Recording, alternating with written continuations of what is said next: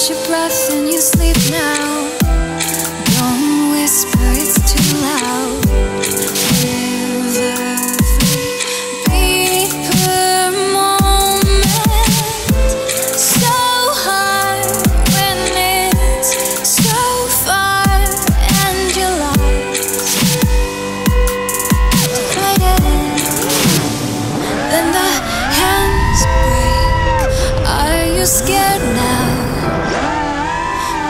be scared.